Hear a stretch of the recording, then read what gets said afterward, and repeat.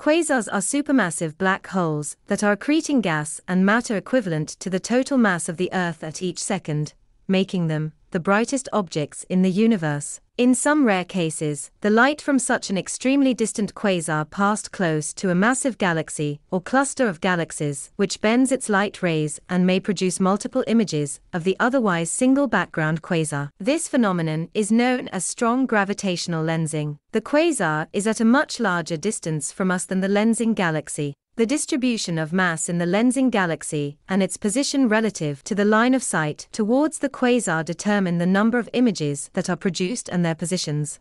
In this animation, we artificially move the position of the quasar with respect to the lensing galaxy in order to explore the potential configurations of the lensed images of the quasar. If the quasar and the lensing galaxy are not well aligned, one can observe a single image of the quasar. If they are closer, we can see two images. And if they are almost perfectly aligned, we can see four. We cannot observe these changes in reality, because quasars are too far away so that their motions are extremely small.